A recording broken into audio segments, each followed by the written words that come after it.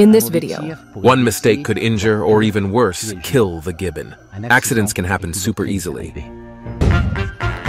And I've realized that leeches of Merapi volcano are crazy about me.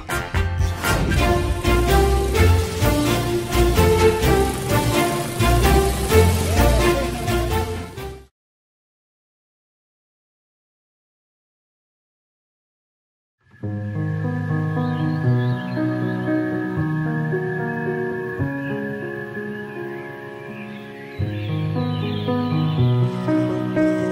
Kalaweit Sumatra headquarters.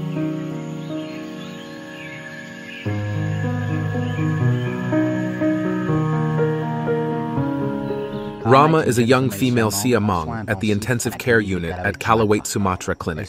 She's dealing with really bad bacterial infections, acute diarrhea, and depression.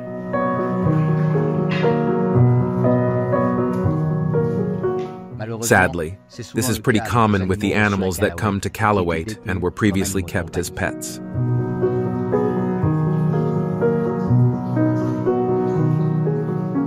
David and Rena are looking after her and trying to make sure she feels good and safe. In short, they're trying to save her life.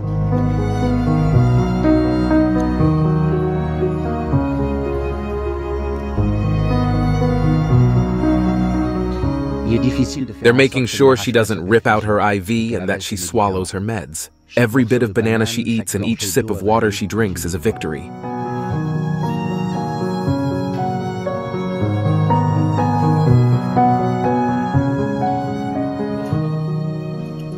The fact that Rama and all these animals that humans have captured even exist, well, it just shouldn't.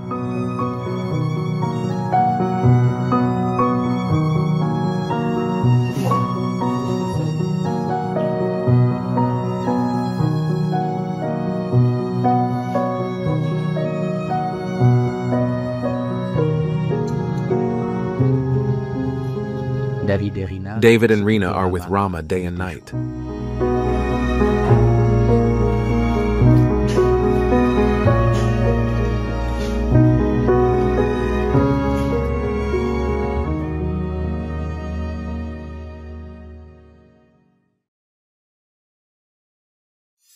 About 150 kilometers from Kalaweit, Sumatra, something really cool is brewing. More precisely, at the Merapi Volcano State Reserve.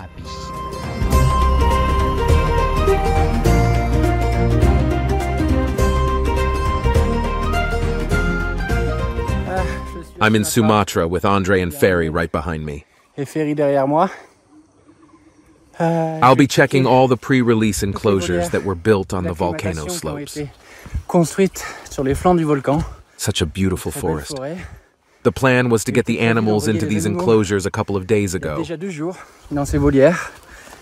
Euh, But same old story, same old problem. même système, même problème. Still waiting for the go-ahead from the authorities. But it'll happen. You might hear it in the distance. There are siamangs singing. vous entendez, il y a des siamangs qui chantent. In this forest, there are only wild il y a que des siamangs. siamangs sauvages. Il y a There are no gibbons. That's why we picked this spot. We can't just release gibbons where there are already wild gibbons. The existing gibbons in the forest would attack and kill our animals. Gibbons are super territorial.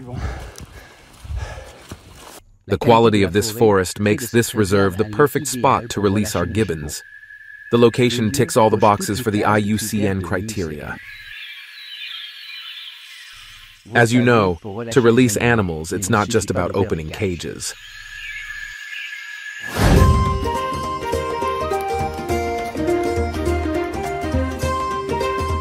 With support from the Forest Department and your help, we built pre-release cages. The animals will stay here for a few weeks before being freed.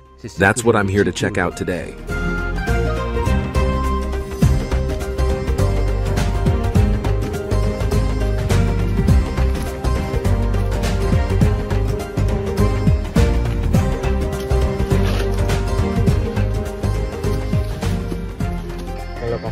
The enclosure is few hundred meters that way.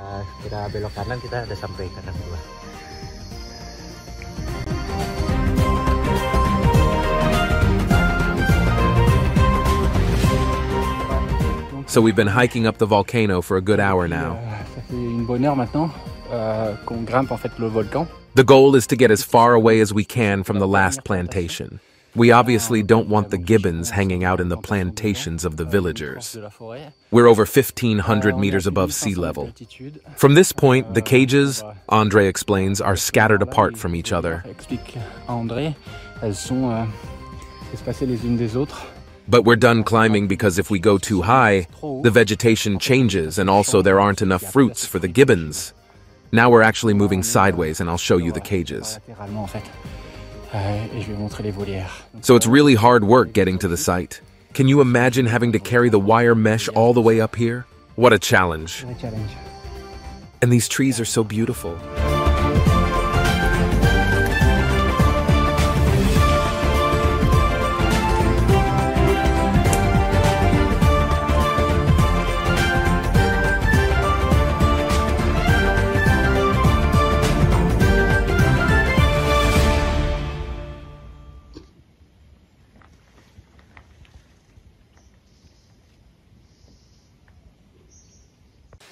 Now we are at the second cage.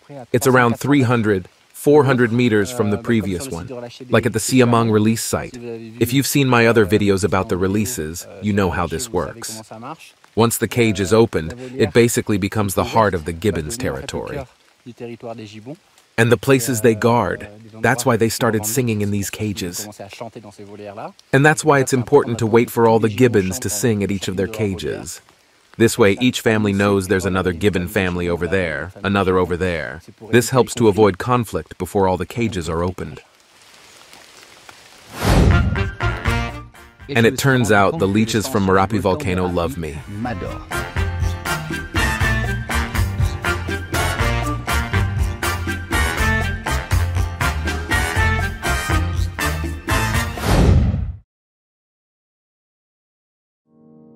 M'adore. Kalaweit Sumatra headquarters. De retour à At Supayang, Kalaweit, Sumatra, Rama's IV has been removed. She seems a bit better, but she's still really weak. faible.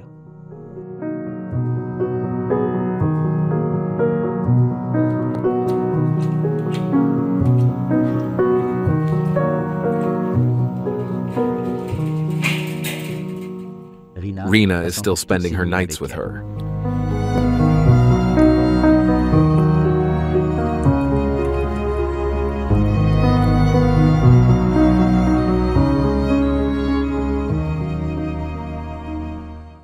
The time has come to transport the animals from our center into the release site.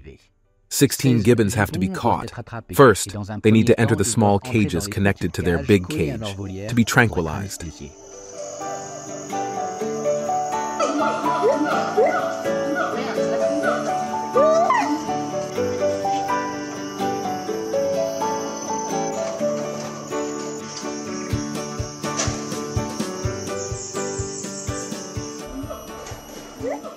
All the vets are ready, and David prepares to tranquilize the first gibbon with a blowpipe.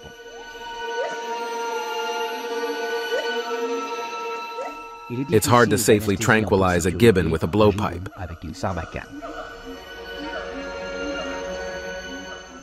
The outside of the thigh is the only safe target.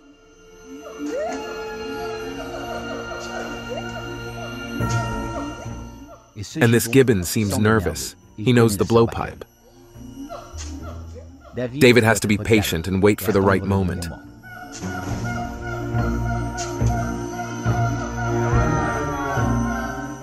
A wrong shot could injure or even worse, kill the gibbon. Accidents can happen so quickly.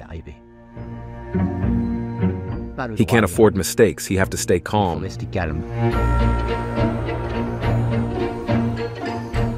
Control breathing. David pretends to shoot to observe the gibbon's reaction. He needs to anticipate his reaction. It's a tense moment as the whole team watches and holds their breath.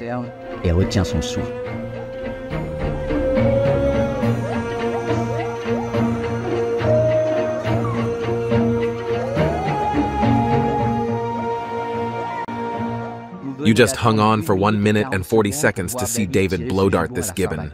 Unfortunately, I don't have the footage. My bad. But David did manage that, and now the gibbon's off to the clinic.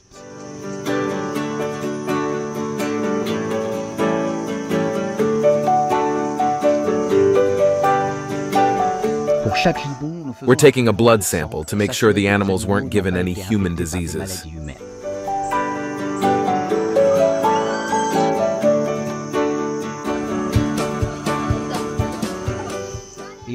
So, they are all set in the transport cages. The animals don't get what's going on.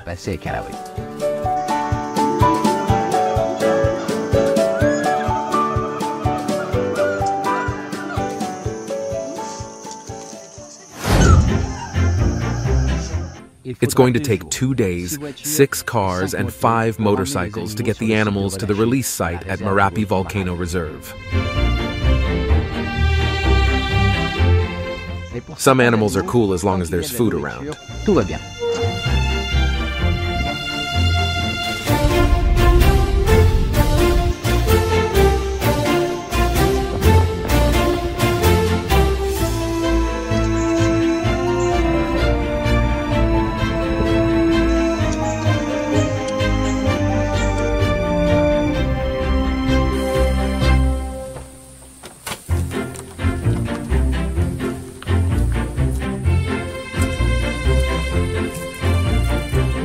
But the final stretch is an absolute killer when you have to lug the cages on motorbikes and on foot.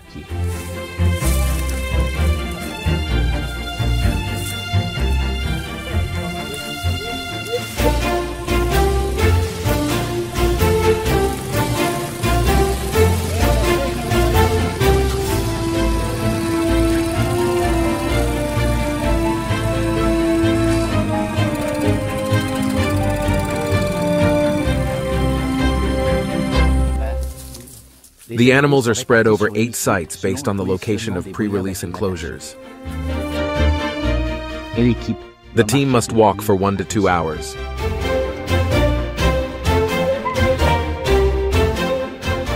It's draining, physically and mentally. But the thought that they'll soon be free is a real buzz.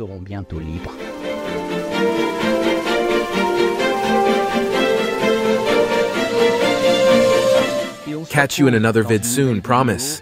When we finally get to open the cages.